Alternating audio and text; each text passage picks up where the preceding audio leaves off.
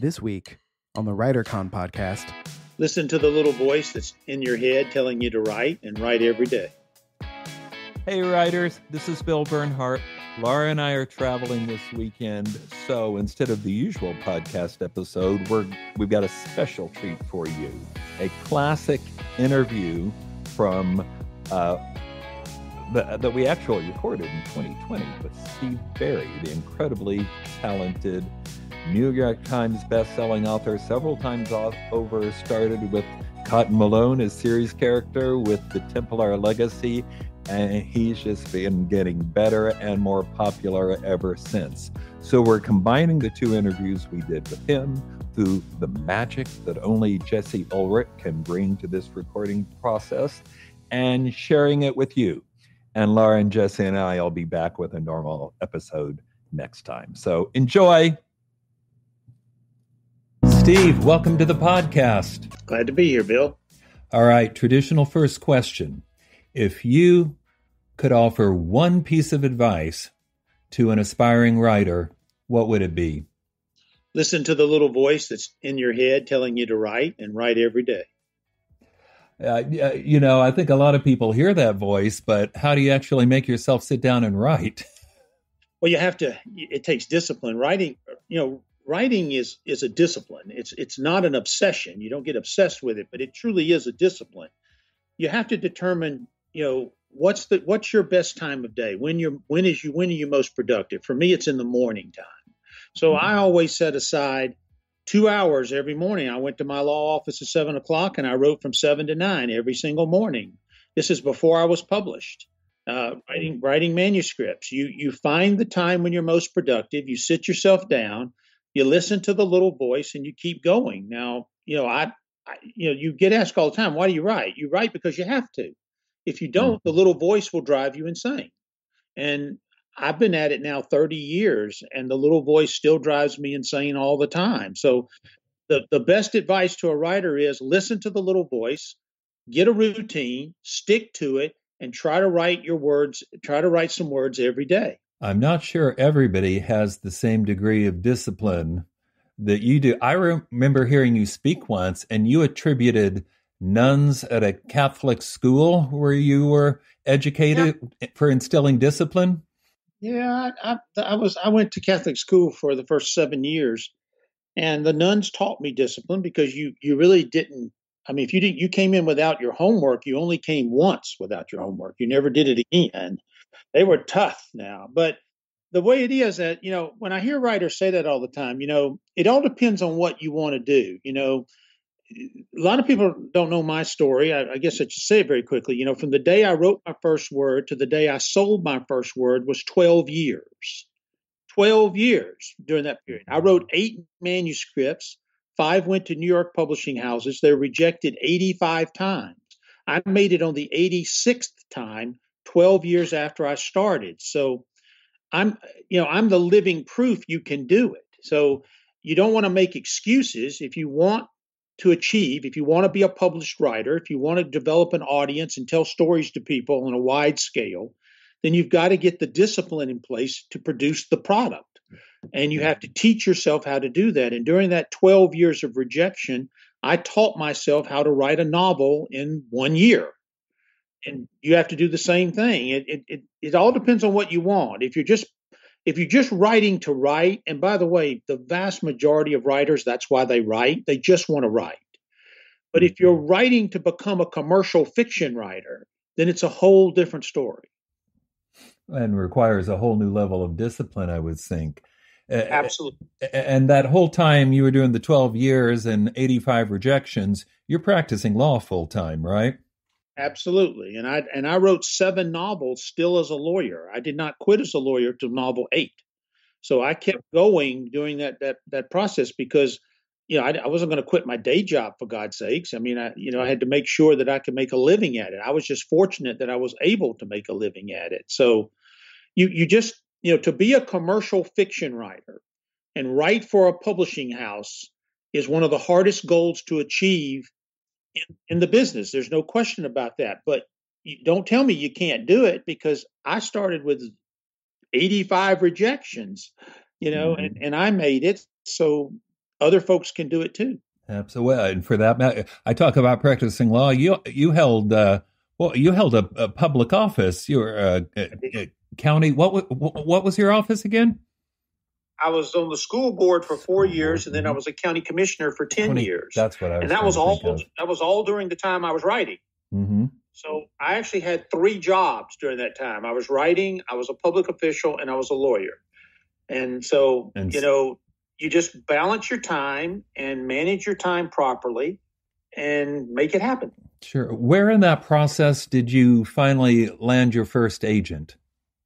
That was actually early on, which was really shocking to me. It was about, I would say, five years into the 12. Mm-hmm. Uh, I sent out about 500 query letters to agents. I got about 10 back that were kind of, you know, lukewarm interested. And then Mhm. one took me, which is a miracle because getting an agent is probably harder than getting a publisher. And that's Mhm. even true today. That's Yeah. still true today. And I was fortunate that uh, Pam Ahearn in New Orleans took me and she submitted those five manuscripts to New York. And those were back in the days when you had to print out manuscripts and mail them off. I remember. Yep. Yeah. and stick them in no self getting an in email, but lots of manila envelopes and self-addressed stamp returns and yeah. And she did that for seven years and she fronted all the postage. She never sent me a bill for anything. Really? And and finally she was there when we did it and now she gets 15% of my first 10 novels for the rest of her life. Hmm. Well, that's that's a fantastic story. The first book was, am I right? The Amber Room. First published book, yeah. Yeah, it was wow. the fourth book that I wrote. Yeah, first book. Well, uh, what do you think made the difference? I mean, was it was it your work improving, or was it just the right book in the right time, or what happened? It was all about timing. The world changed. Mhm. Um, during the 90s, my genre was dead. I mean, the spy thriller died Right. in, in 1990 when the Cold War ended. So it kind of died. And by 2000, that genre was gone. And then the Da Vinci Code came in 2003. Mhm. and Random House had bought it in 2002. Now they they had no idea what they had at this point. They just knew they had something kind of fresh and different. And my and Dan writes action, history, secrets, conspiracies. That's exactly what I was writing. And so Random House was looking for something to go with Da Vinci, and I got bought to kind of come in on the coattails of Da Vinci. And Da Vinci was published in spring of 03. I was published in fall of 0, of 03. And we rode those coattails, and God bless Dan Brown. He brought that genre back to life. He did. And, and it's still going strong today, thanks to him. And at some point, you had a book called The Templar Legacy, right? Which was uh, the the right word to have in a title.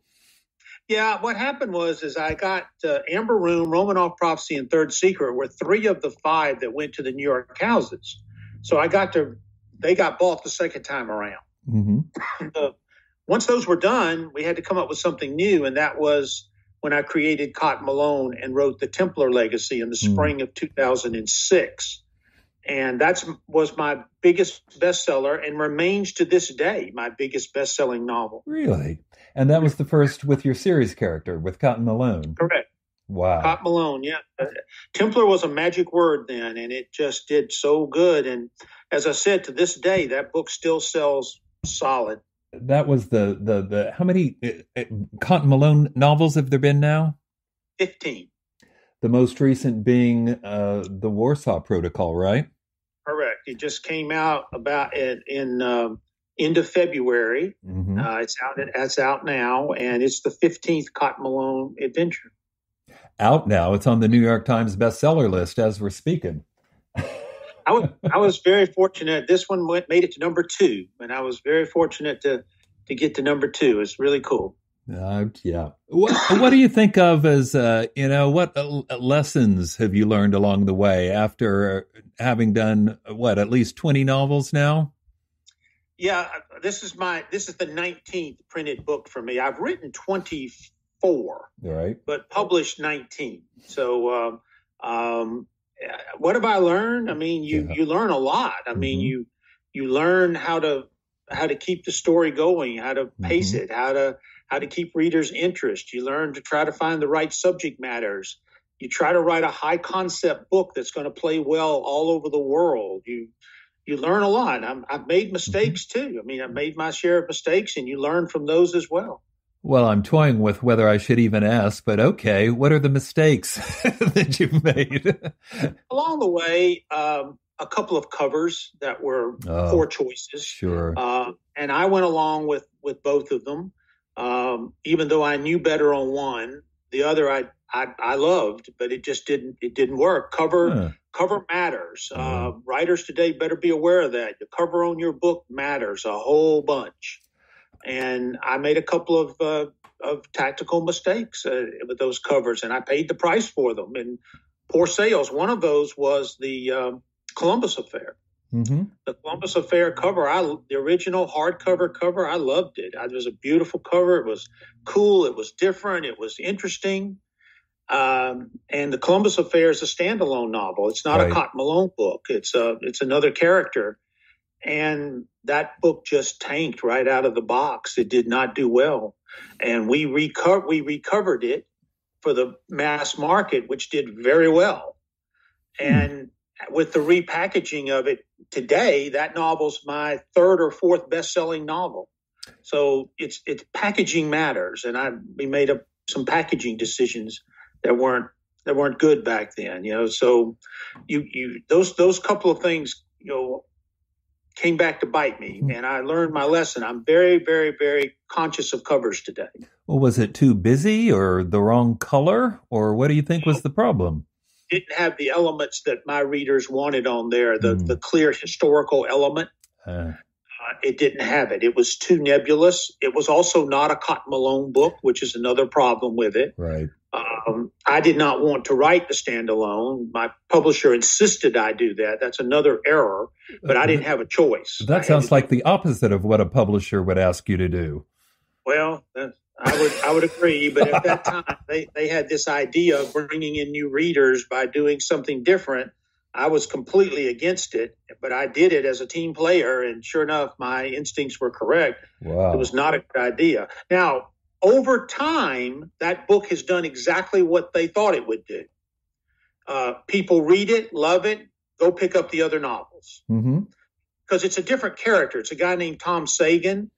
He's an ex journalist, but the book is Action, History, Secrets, Conspiracies, just like Cotton Malone. It's a terrific novel. I love the novel. Mm-hmm. Because it deals with something with Christopher Columbus, something out of the island of Jamaica that's real, some really cool stuff and, you know, it, over time, that book has done really well and has driven people. If you go to the Amazon page for the Columbus Affair and look at what people also buy, it always includes all of my Cotton Malone books. So right. in the end, they were right. In the long term, they were correct. In the short term, no, it was a disaster. Mm. Hmm. You talked a minute ago about uh, the importance of keeping the story going.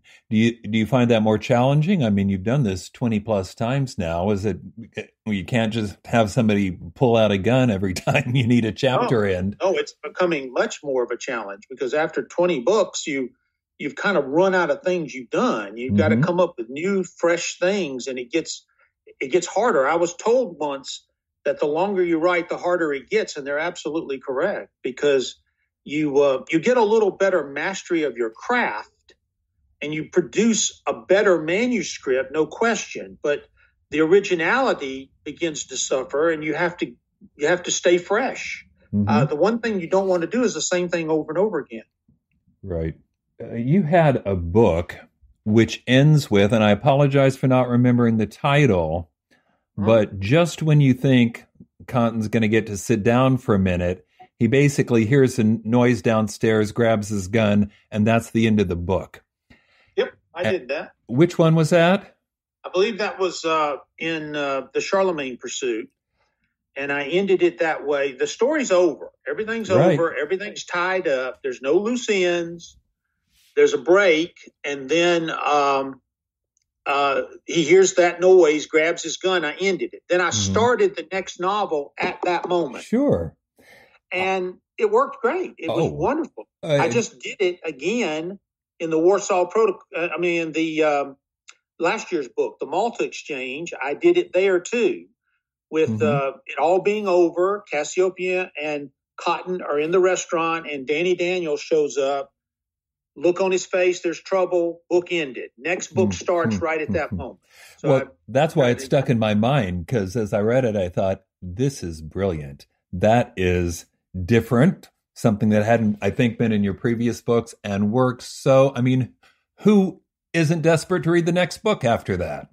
Well, that's what you want to do. The one thing you don't want to do, and I would caution writers with this, is you do not want to leave a story element of that book hanging on at the end Right. because you cannot assume people are going to read the next book. That's creating almost a serial at that point. Right. Now, serials work great in mysteries. They work great in romance. They work great in fantasy. They do not work so great in thrillers. hmm No, that's not what you told. You finished the story Yeah, and right. then gave people a little teaser of what's next. Right, and it and I like I said, I liked it, so I did it again last year, and I started Warsaw at the moment the other one ended. Mm. Really good stuff. Uh, one you you mentioned thrillers. I think that you've always been devoted to thrillers. Like even before you were published, thrillers were your main jam, right? Oh yeah, that's what I love to read. Absolutely, So and that's history. I love to read history and thrillers. hmm And I, I, I want to mention that you were one of the founding members of ITW, International Thriller Writers, and been president or co-president. I don't know how many times, but you're you're the driving force. Uh, Uh, just once, I was a found, one of the founding members, and I served three years as co-president, and then mhm. I've been on the board uh, as vice president of publications for many years. Am I right in thinking that ITW now has over six thousand members? It's approaching six thousand. Yes.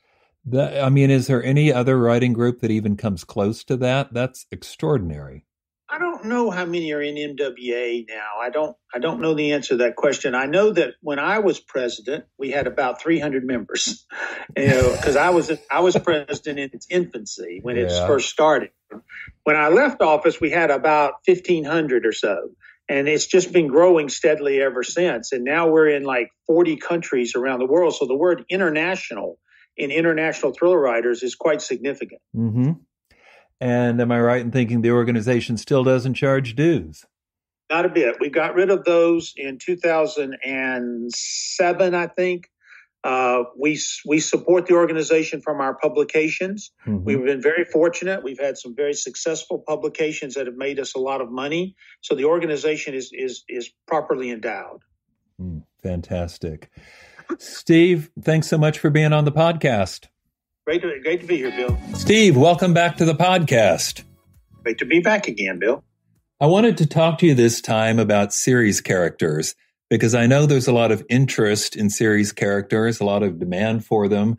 Uh, it seems to be uh, more of a popular way for writers to go than it has been in the past. And you, of course, with Cotton Malone, have one of the most successful series characters out there. Uh, but I remember you didn't start with Cotton Malone. You did uh, two, three novels, Three. before, three novels, and then with the Templar legacy, introduced Cotton Malone. What what made you decide to create a series character? Well, it was really Random House's idea. Really? Uh, Mark Tavani, my editor at the time, said, let's create a series. And that was a little weird for me because I don't read series. I Hmm. mean, I never really have read series. Now, I read Dirk Pitt, you know, Clive Cussler, Yes. but those really aren't a series. Those are each kind of standalone books. Every one of them are standalone books. They just happen to go one after the other. Um, I wasn't a big series character uh, reader, so it was a little difficult for me to figure out how to do that. So we created Cotton Malone and wrote the Templar Legacy. And when I wrote it, I did not have any illusions that I was going to get to do this 15 more times. I was just hoping to get through it, you know, one time. So I, I, I created Cotton hmm and he did very well, very, very well. I mean, as I said, that's my biggest selling book then and biggest selling book of all time is the Mhm. Templar Legacy. It still sells a lot of copies today. And Cotton was created, and so we, we kept him going. Now, Mhm. What I've learned, And I learned this from Lee Child. He taught me this because he writes the Jack Reacher books. Right. And each book in a series has to be the same but different. The same but different. Now, how does that? How do you make that? That's a that's a tough. That's a tall order now. Yeah. So how are they the same? Well, there. Every book is action, history, secrets, conspiracies. Okay. How is it different? Different history, different protagonists, different so what's, different settings. Everything about the book is different than the other. The only thing the same is action, history, secrets, conspiracies, and of course the character Cotton Malone. Mm-hmm. So I've I've learned that trick. I write. I've written 15 Cotton Malone books, Mm-hmm. and I get asked all the time, "Do you have to read them in order?" Absolutely not. You can read them in any order you please. I write them where you can come in and out of the series however you want, and that's what I learned from Lee. Hmm. The same but different. I mean, you're basically saying every book can't be exactly the same, but sort of every book needs to be the same, except in in in different words. Uh, In and, different in different settings Mhm. and different motivations, right. all those kinds of things. That every one of my books are utterly different, utterly different, but they are the same because they involve action, history, Mhm. secrets, conspiracies. Is it challenging to come up with those new, fresh elements? Extremely challenging. It's harder and harder every year because I want something that no one's ever touched before. I don't want to do what someone's someone's up done, and I, I'm. It's hard. I have to find that thing from history, that thing from the past that's real. I cannot make it up. It's got to be real, and it's got to be something that's going to interest me and is going to interest the reader. And then I have to make it relevant today. It still has to matter today. That thing from the past. I call it the ooh factor, the thing from the past, thing that kind of makes you go ooh, like Templars or Charlemagne or Mhm. those kinds of things. And then the other thing is the so what. Who Mhm. cares if we find the Library of Alexandria? Mhm. Who cares if Queen Elizabeth I was a man? Who cares, uh, you know, uh, about the Templars one way or the other? What does it matter? I have to have that so what today Mhm. and they're hard to they're getting harder and harder to find but thankfully i'm okay for about four more years at least and then a new series character? no no i just have to come up with a new idea I, Oh. I have i have i'm okay for Oh, 21 22 23 i'm okay oh, you're saying you got four years, uh, four years of ideas or stakes planned. yeah well well the 2021 novel's finished. It's already turned in. Because you know you do a year in advance in the book business. So i turned it in this year to publish next year. I'm writing the 2022 novel that will be turned in later this year. And then i've already got the ideas for 23 and 24 so as i said i'm okay for four years. Hopefully within the next four years i'll find a couple more ideas. I have a hunch you will. What What were the elements, uh, or what were you thinking of when you created Cotton Malone? Copenhagen, used bookseller, uh, former was- government servant. What, what What were you trying to do there? Uh, how are you going to make him appealing? well i wanted him to be different you've got to create somebody a little different Mm-hmm.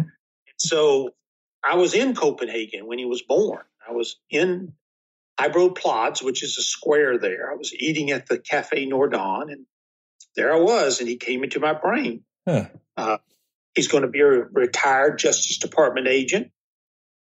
He's going to own an old bookshop, Because you love old bookshops, right? bookshops, yeah. And he's going to uh, uh, be get himself into trouble all the Mhm. time. And he kind of came into my brain, and I wrote down the elements of what he should be.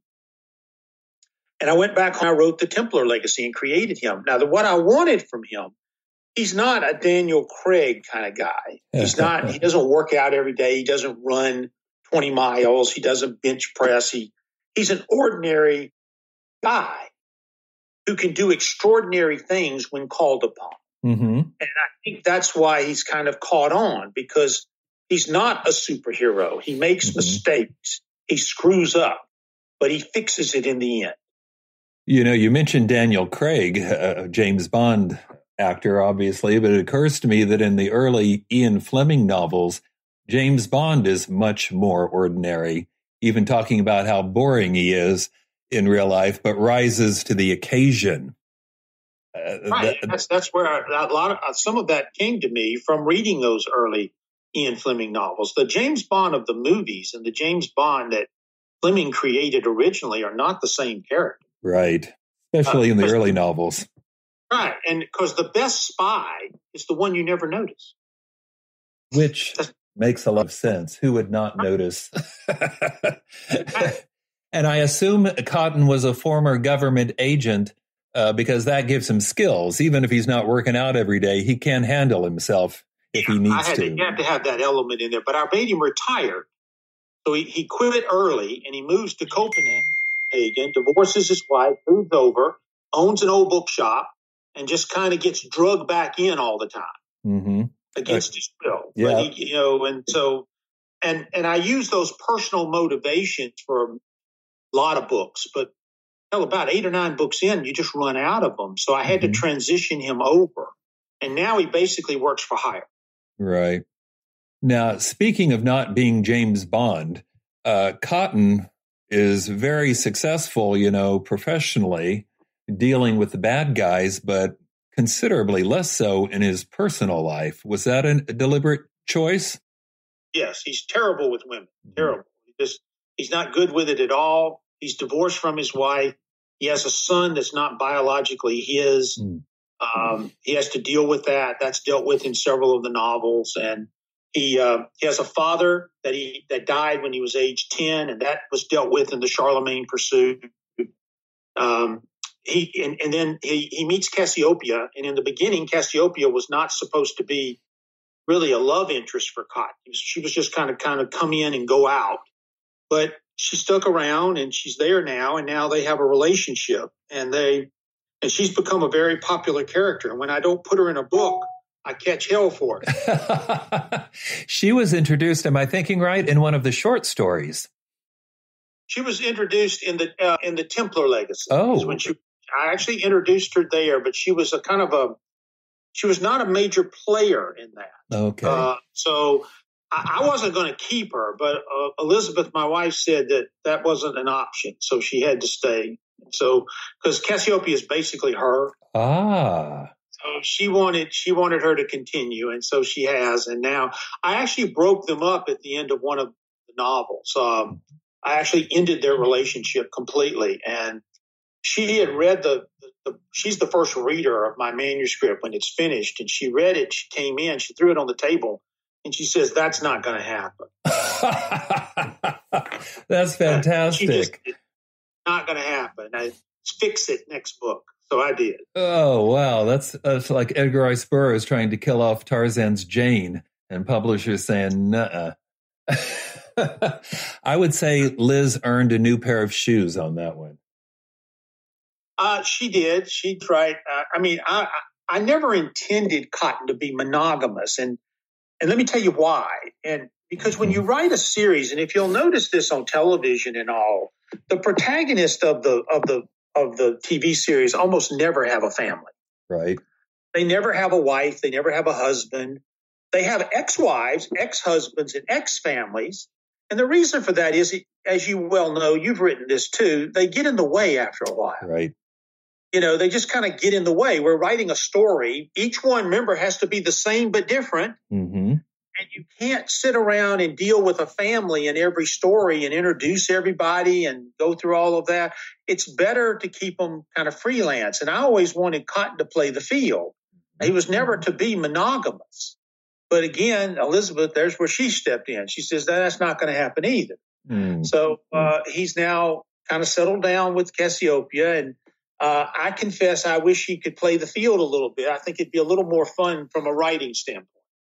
Well, a relationship limits, uh, you know, cuts off. But then again, given how poor Cotton was with women, maybe this is for the best.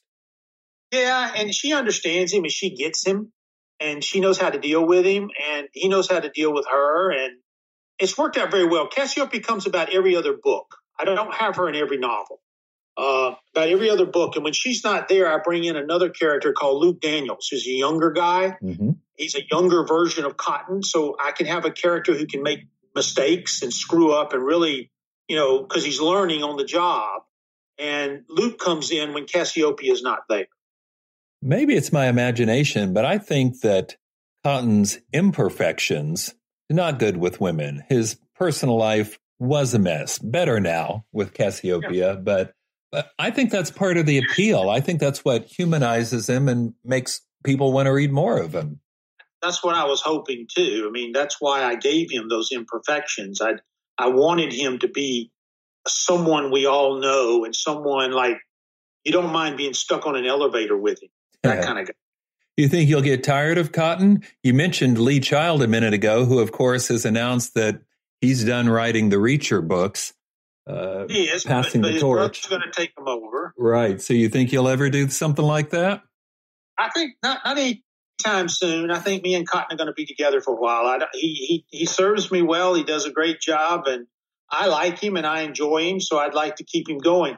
I wouldn't mind branching out a little bit. I wouldn't mind Luke Daniels having his own book. I wouldn't mind mm-hmm. Cassiopeia having her own book. Um, that would be fun to do, yeah. but I don't want to get rid of Cotton. No. That's sensible. Can we talk a minute uh, about history? Your books are so steeped in history. That too is clearly one of the appeals. Uh, people learn a little something at the s- same time they're being uh, entertained. How do you come up with that stuff? What kind of research do you do? Well, it takes it's about an 18 month process to research one of my novels. mm. I do it six months the last six months of writing the novel or I start researching the next one. And so I use around 400 sources to write a novel, and those are books. I use physical books. Wow. I buy vast majority of them at a giant um, used bookshop here in it's in Jacksonville called the Chamblin Book Mine. It's a wonderful place. It's a he's got incredible selections in there, just thousands, tens of thousands of volumes. I'm very fortunate to have that where I can go get the material I need. And I, I don't read 400 books, but I do read large chunks of 400 books. And I take a lot of notes out of those books, and those notes stack about six inches high. And of that stack, I'm only going to use about 10% of the information in there. And I, and I don't know when I'm going to use it till I start writing the novel. The hardest thing for folks in my genre is mixing information with action. It's the hardest mm-hmm. thing to do. And I'm not saying I'm great at it or I'm wonderful at it. I'm only saying I'm very conscious of it. And I make a very conscious effort to mix the information with the action as carefully as I can so you don't get too much of either one of those. Right. No, actually, you're very good at it. The integration of exposition so the plot doesn't ground to a halt or people feel like they're being lectured, but right. still you you give it that fascinating nonfiction uh, extra layer, subtext, whatever you want to call it. It's it's one of the things that makes your book special. Thank you. The, the trick is is for them to be reading down the page, and all at once they just realize they learned something. Mm-hmm. Yeah, exactly. And, and, they never they never realized it till they got about three paragraphs down. Mm. They go, "Oh, I just learned something. That's the trick. You can do that. That's that's the, that's the goal." Yeah. Since we're talking about history, can we talk a minute about History Matters, your nonprofit, which, uh, sure. among other things, I think is helping to preserve historical landmarks? How did that come about? About uh, 11 years ago, we decided we want to try to give back a little bit. So Elizabeth and I created History Matters.